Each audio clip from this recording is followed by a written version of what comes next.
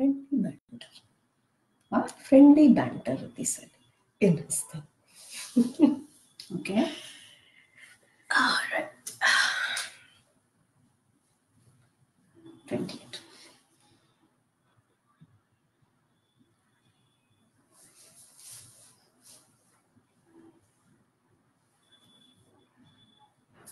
Mm -hmm.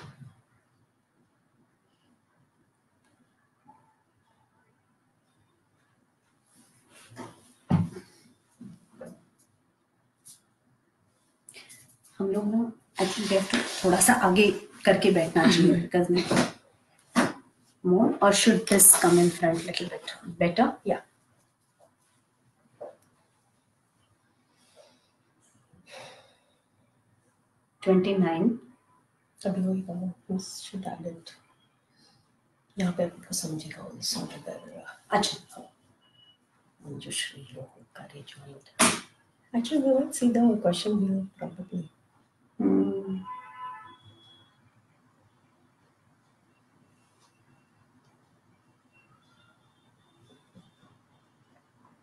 Two people are have joined. You can see that.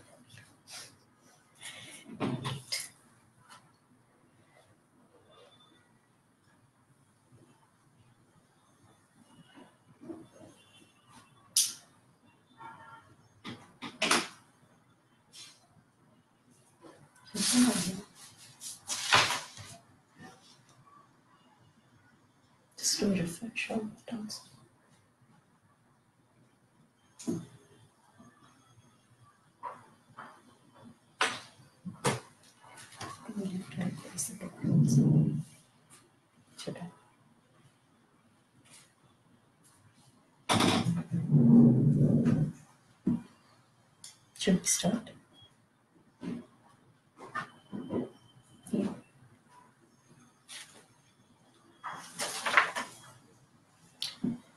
Yeah, Sushant, can we start? Okay, you can start. Good morning, everyone, and welcome to Masterclass live session that we are doing for Living My Promise today. Uh, I'm Manisha, and let me introduce my colleague Deepa, uh, co-founder of Pramiti Philanthropy Partners. And I will be asking her a few questions today that we've received from you about structuring your social capital portfolio. Uh, So sit back, enjoy uh, the conversation today. And during the course of conversation, if you want to ask us any of the questions that you may have, please type those in the comment section and I will try and include those in during the course of conversation. Uh, so before we start, let me speak a little bit about uh, Living My Promise. So inspired by Bill Gates and Warren Buffett, uh, Living My Promise is actually a promise intended for Indians who would want to pledge more than 50% of their wealth uh, to various charitable causes. And the concept is very simple indeed. Um, any Indian who has an wealth of more than one crore uh, can pledge to give 50% or more of his or her wealth to the causes of his or her own choice um, and sign the pledge. Uh, which causes, which NGOs, which activities is completely the person's choice. Um, so till date, 41 individuals have signed the pledge. Uh, you can read about their journey, why they decided to join the pledge, and more more information about Living My Promise. You can log on to the webpage uh, livingmypromise.org. Um, so let's start, Deepa. Uh, welcome. And the first and the most important question: Why is it even essential to have a structure to your entire giving? Um, thank you, Manisha. Uh, good morning, everyone. Uh, and it's great to note uh, a lot of people have uh, joined this uh, uh, conversation. And congratulations to the Living My Promise effort. I think it's a very commendable effort to have 41 Indians already signed the pledge. Um, now, coming to your question, Manisha, of why do we need a structure in the philanthropy? Um, see, most of us actually give for the joy of it.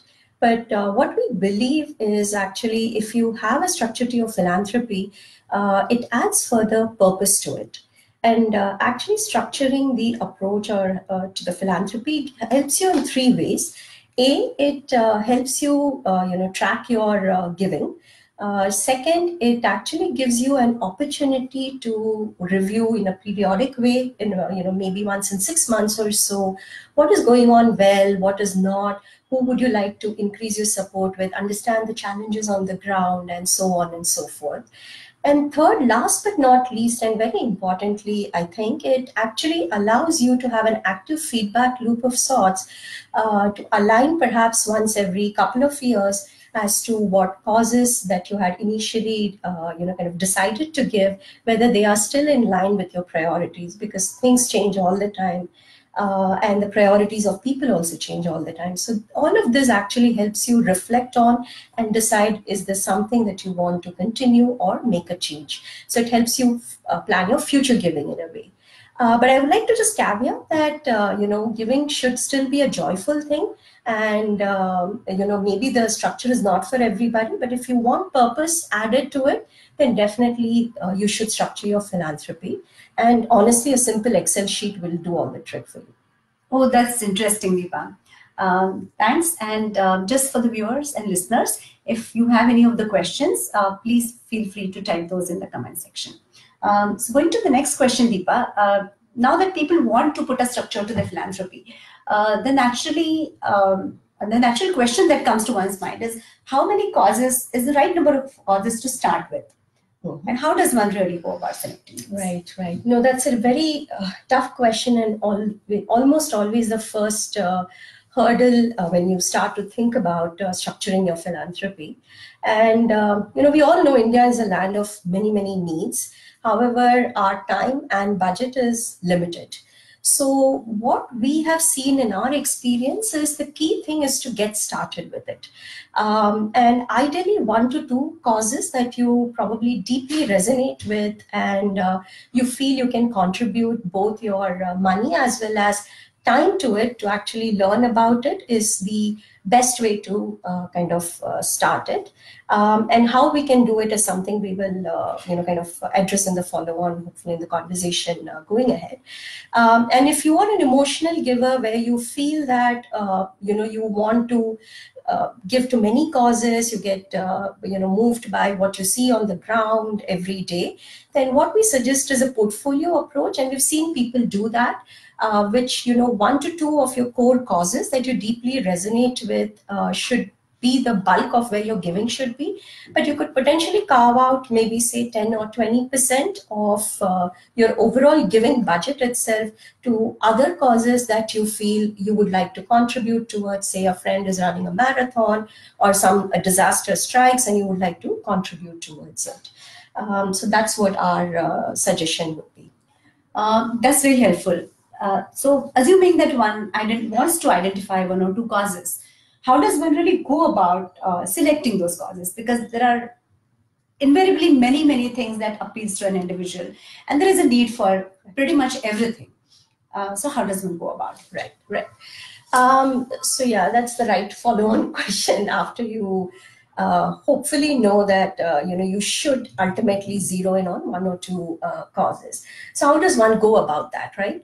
Um, so what we have seen, uh, you know, when we work with families is or individuals, is when people start giving, it's often shaped by their personal values, experiences, or triggers in their life.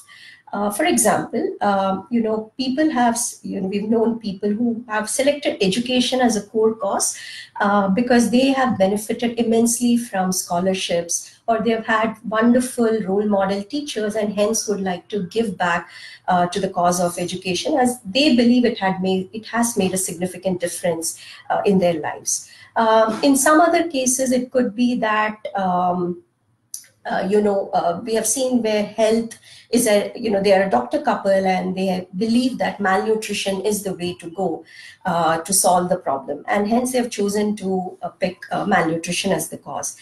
A few people have also looked at with respect to the whole geographical approach with respect to unit of intervention saying i would like to contribute locally so that i can give time i can track how the giving is going.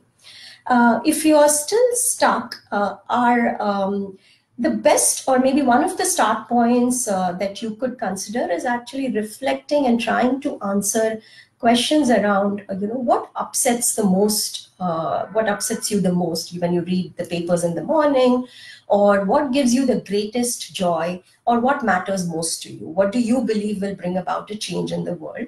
Um, or it could be a proverb or a cliche that you have heard most often and you feel that it's true and hence you know some of those answering some of those questions or reflecting upon that would hopefully give you some uh, some you know framework in terms of what cause do you identify with. Um, for the rational givers who want to believe in a you know a structured way to think about causes uh, what we have is actually something that we have evolved is called as a 3p model. Um, the 3p stand for uh, people uh, places as well as um, with respect to the problem that you're trying to address. Uh, when I say people, it could be list of, you know, where would you like your giving or who would you like to uh, let your giving address, right? Which is in terms of children, women, girls, it could be youths, it could be animals, it could be, uh, you know, transgender, whatever the case may be. Uh, and the second part is the problems, the second P which is within that subgroup that you identified in terms of the beneficiary or the people, what problem would you like to address there? Uh, again, uh, to give you an example, if you have chosen children, it could be education, it could be health, it could, sorry, sports, it could be values, so on and so forth. And uh, place is typically, uh, you know, whether you want to address it locally within, say, Bombay, Bangalore, Delhi, uh, within a particular ward, uh, within the city, are you okay statewide, district, state, or even pan India effort? So I'll just pause there for, yeah, if you have any questions. Absolutely. So assuming that people starting out their journey in philanthropy have now identified one or two causes that they would want to experiment with, the next step naturally is who do, the, who do I support? Which NGO do I select? Um, so how do you go about doing that? Well, congratulations, you've crossed the first hurdle of identifying the cause, hopefully. Um, the second one is actually simple. Once you've figured out what cause you want to give, um, here I would like to borrow from our legendary Amitabh Bachchan, uh, Kaun Banega Crorepati, and say that there are three options to you. And the way you would like to exercise those options is up to you. It could be one at a time or a combination, um, which is 50 50. Um, again, same, ask the uh, experts and actually phone a friend. Um, so, in when I say 50 50, it's actually saying, you know, going to Google and actually there are platforms out there such as GuideStar India, Give India, uh, Credibility Alliance who have done bulk of the work for you actually by uh, identifying organizations that are at least cleared for transparency. Uh, and what I mean by that is actually they have uploaded their financials. They have been in existence for hopefully minimum of three years or so and you can actually shortlist and select. So once you have that, that could be a potential start point for you. The second one, which is around uh, phone a friend, and trust me, this works more often than not, is typically within your network and peer group, you will find people who have already been giving or been associated with a cause or an NGO and asking them and reaching out to them for uh, help uh, would be the ideal thing to do and get a conversation uh, going as to what it is and actually visit the organization together even.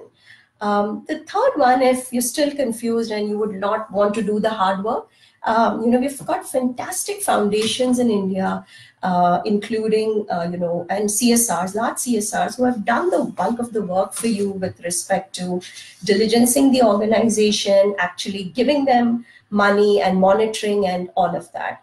Um, so here's what uh, you know you could actually fall back on or piggyback on these organizations such as Tata Trust, Azim Premji Philanthropic Initiatives, uh, EdelGive, and A.T. Chandra Foundation, Rohini Nilekani, and there are umpteen number of those. Uh, if you actually do the search, they have listed those organizations that they support on their website that you could piggyback on.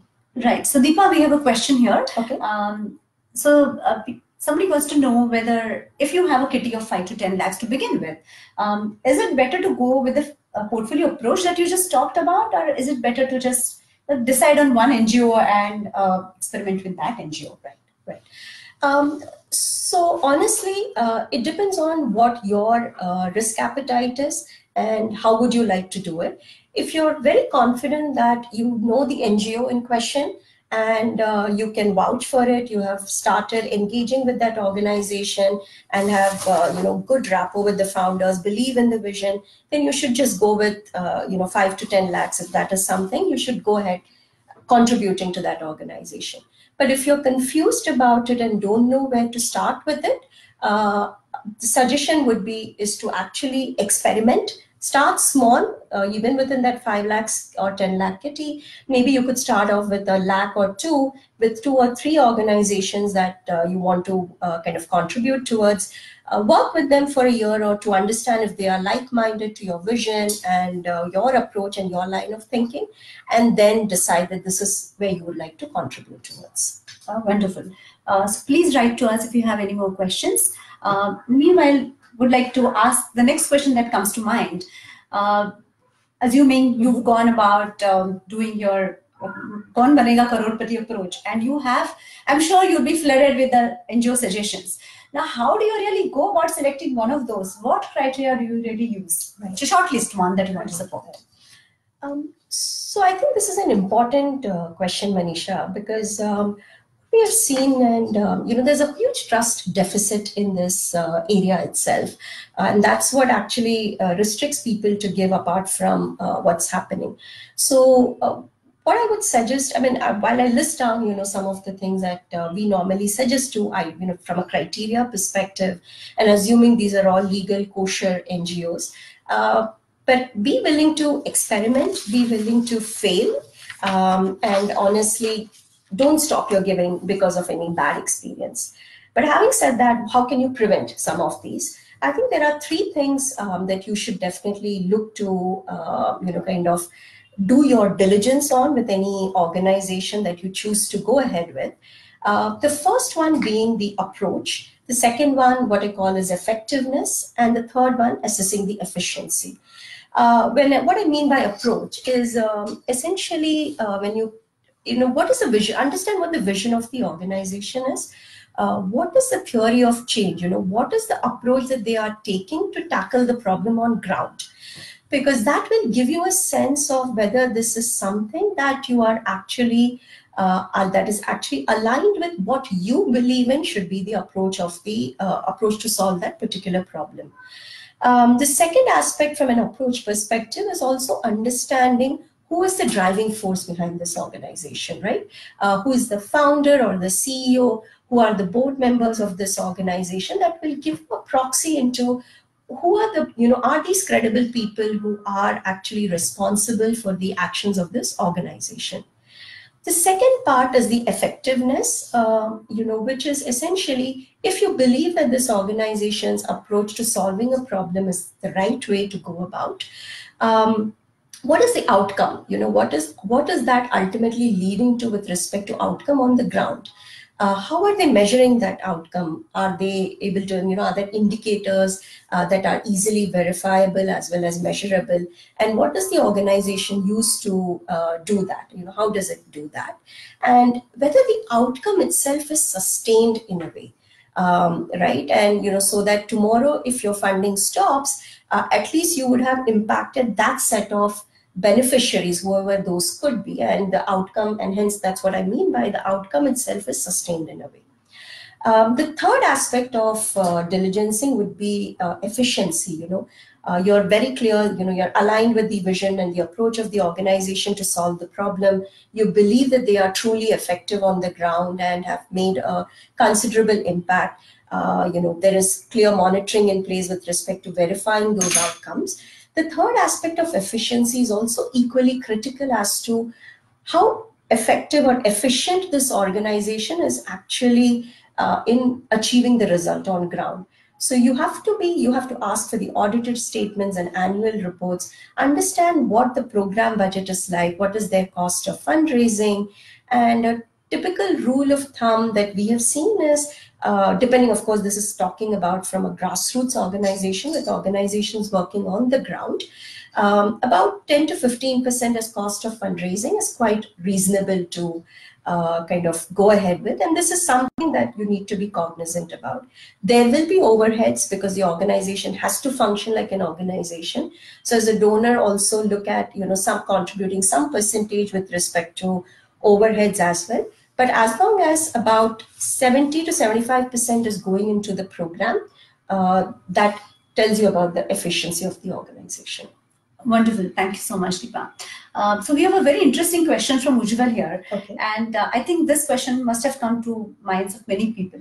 Uh, so the first place to start your philanthropy essentially is your own ecosystem, Mhm. uh, your support system at home, your servants, your drivers, your maids. Um, so what he wants to know is, is that a better place to start by supporting your help, uh, household help and community that you're engaged with uh, before even thinking about uh, strategy um, and putting a strategy in place Right. for your community? Right, right. Um, so thanks for that question, Ujjwal. Um, so definitely, uh, you know, if the charity begins at home, right?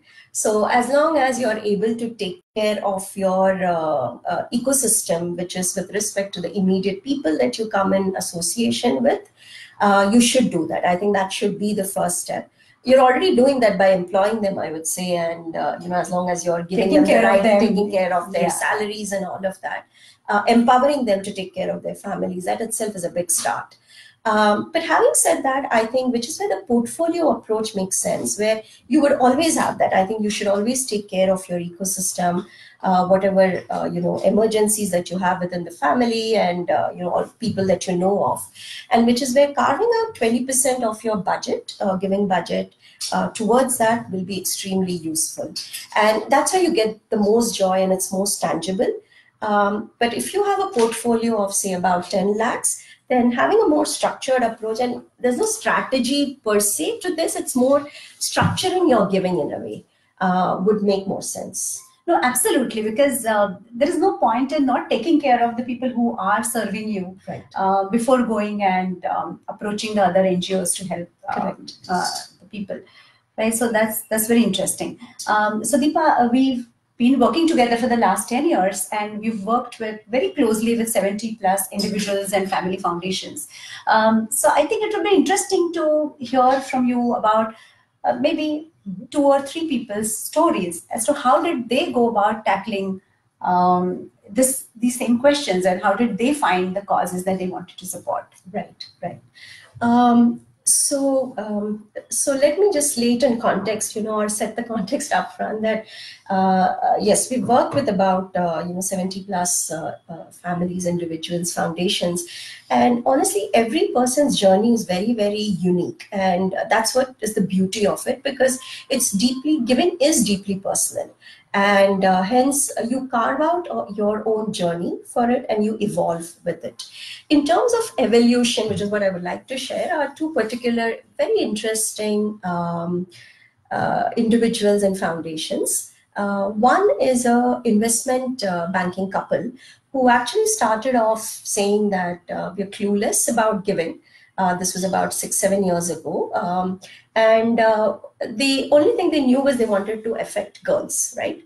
And uh, in south bombay area so we kind of identified the organizations and they started associating themselves with one particular organization um, even in south bombay and started giving time uh, you know started giving time to not just understand about the organization but also understanding the space itself attending various events and forums and all of that. And uh, in the course of that journey uh, they decided they heard one fantastic uh, speaker and the work that you know uh, that the person was doing in chennai on health and uh, started engaging with that organization so much so that today they have set up their own implementing foundation working you know supporting that by their own funds but also running the show themselves uh, for congenital heart diseases. So here you actually see a shift that uh, you know you have started, you have given time, you started with one cause, but during the course of that journey, you're okay to make shift, and eventually you found your true calling in a way.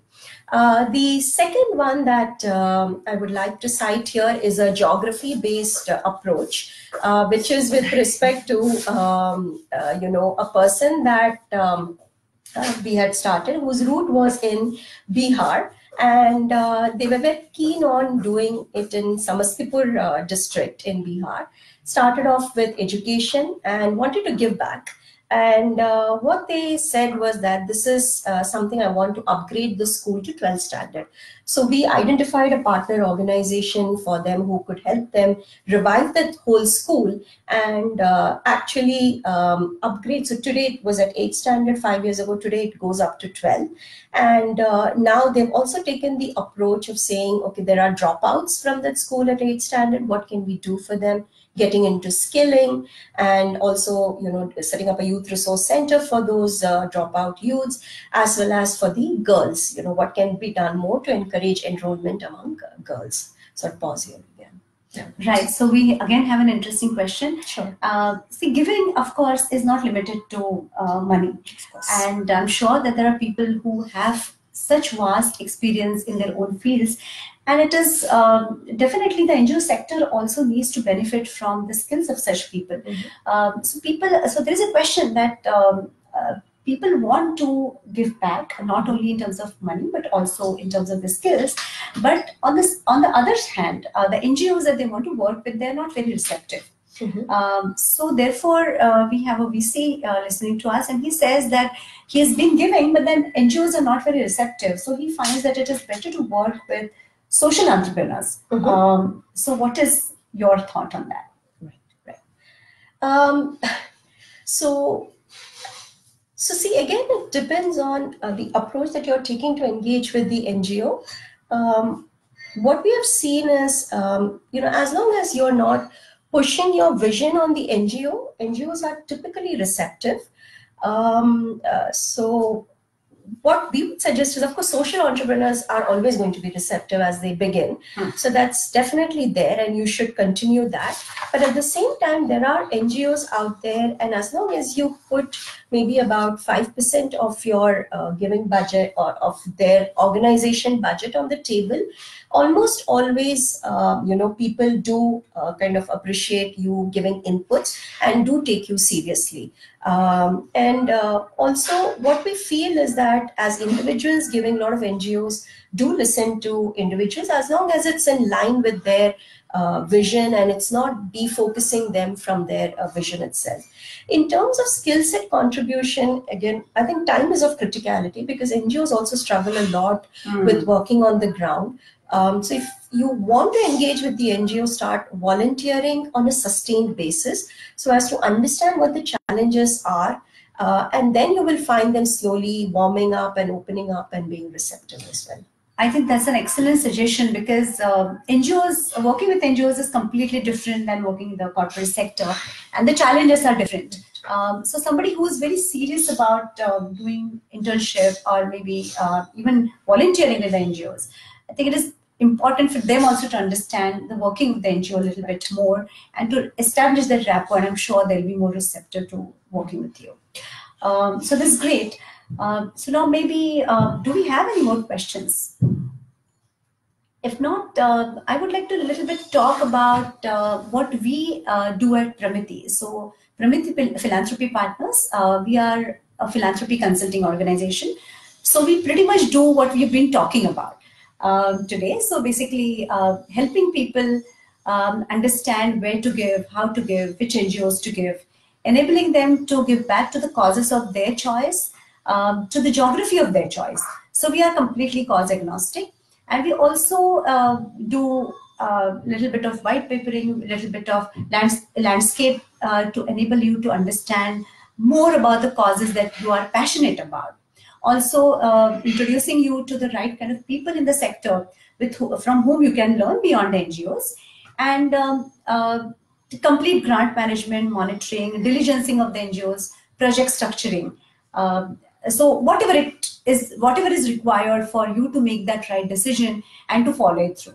Uh, so we support philanthropists in each and every stage of their philanthropy journey.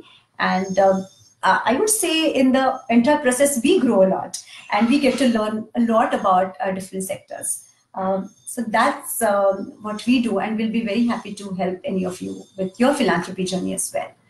Um, so um, unless we have any other questions, I think uh, yeah. So we are uh, we do have some more time. Um, so, uh, so, so maybe yeah. yeah. just summarizing it a little bit uh, for you. You know, we've addressed a lot more questions, and I'm sure there are a lot more. Uh, but I think I just want to part with um, saying that you know, in summary. Uh, so, uh, Deepa, can you pause it here? Sure. There is one more question here. Okay. Um, so, is what is the right amount of money to give the NGO in terms of you know the percentage of budget of the NGO, or you know, uh, are there any other parameters? Yeah, yeah, yeah. Um, so general rule of thumb that we have uh, always followed and which is what we strongly, strongly recommend is uh, never be more than 20% of the organization's budget. Uh, it's very important because tomorrow and, and for both sides, I think, uh, especially with respect to the organizations working on the ground, it is very important that tomorrow, say, if you do um, decide to step back, uh, they have not, you know, kind of their work doesn't come to a standstill. Uh, they have diversified their sources enough uh, so that the work can continue. And they're not and dependent not on completely you dependent on you. Yeah. And give them sufficient notice. And by sufficient notice, I would say at least two to three months um, before you say that, uh, you know, you're going to step back or curtail uh, your contributions to the organization. Right. Uh, there is another question by Ashutosh. Mm-hmm. Uh, he's asking whether M&A is something that we also undertake. So, you want to answer that? Um, so we are we are not an expert on M&A. Uh, what we do is we do definitely have some measurement metrics in place uh, basis the outcomes. So that is something we strongly, strongly believe that, uh, and we are data fanatics to some extent, uh, where we believe that uh, we need to measure uh, the outcomes in whatever simplistic manner. It needs to be measurable and verifiable, and it has to tie back to the overall objective. So our monitoring and evaluation is uh, more around monitoring rather than measurement and evaluation. Right. Um, another very interesting question: Is it better to go a gift to the organization's um, expenses or program expenses? uh, okay. Um, so I would say um, both. Uh, as you start off with, you should consider both. Um, you definitely, you know, people evolve and uh, see, people need to run organizations. So I think you should do both organization expenses as well as programmatic expenses. You could perhaps limit the percentage of the organization expenses to maybe about 20% uh, of the overall thing to as you start. But what is very important is if you are happy with the performance of the organization, you believe that these people are truly making a difference on the ground, um, you're like-minded, uh, you know, with the founder or the board, our strong suggestion would be to actually make that 100% of organization support if you can as because goes forward, one, as one goes forward because a lot of organizations struggle to raise money for their own institution capacities. Right. And um, i would just like to add that with the csr coming into uh, play now um, most of the organizations do find uh, donors for their programs. Mm-hmm. uh, but again their own expenditure is something that they struggle with. Correct, so correct and I believe there is a question here, if I'm reading it correct, it's saying what is the right of amount of money to give to an NGO as percent of their you, budget? You already answered that. Uh, so that they're meaningful, meaningful as well. Yeah. Uh, so uh, um, I think any amount is meaningful to the organization. But if you want to truly give inputs and want your inputs to be seriously received by the organization, um, then what we have seen is 5% of the organization budget as an individual is quite meaningful uh, hmm. to the organizations. Right. And um, the question about whether it should be capex versus opex. I mean, whether you should be building structures or whether you should be supporting the existing structures.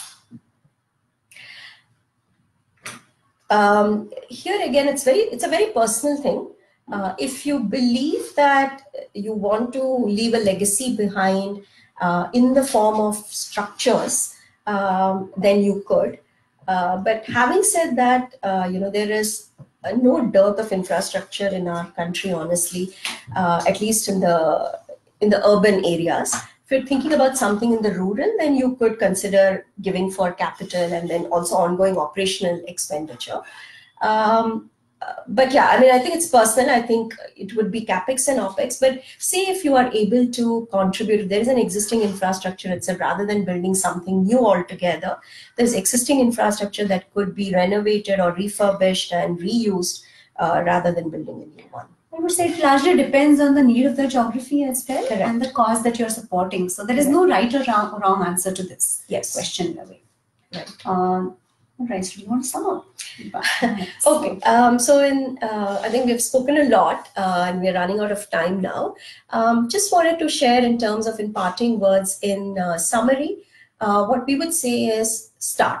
Right, I think getting started is the the, most absolute thing, uh, yeah. critical thing. Start with one or two causes that uh, closely resonate with you. Uh, identify the organizations, uh, you know, in the way that we shared with respect to Googling uh, platforms using various other platforms such as uh, GuideStar India, Give India, Credibility Alliance, or asking of friends or calling up your friends, um, or you know, piggybacking on some of the larger foundations that are already doing a fantastic job for you. Uh, create a simple Excel sheet, more than enough, will do the trick. Make sure you review it once in six months as to what's happening. Um, spend some time, go meet organizations on ground, uh, go to the program site, you know, where the program execution is actually taking place. Um, there's no greater joy than actually seeing, uh, you know, what's happening on ground with your money and come back and revisit what uh, you want to do. And most importantly, be willing to experiment as you start. Uh, you will fail, uh, but you will learn in the process and evolve in the process. Absolutely. And uh, just one word from me is you should enjoy in the entire process. So ultimately, uh, giving does not really make sense if you don't enjoy the whole process and the outcome of giving. Um, so thanks a lot, Deepa, and thanks all of you for joining us today. Uh, I hope you've had um, you've enjoyed the conversation, and don't forget to uh, like the Giving My Promise, the Living My Promise page. Uh, thank you. So Thank much. you so much.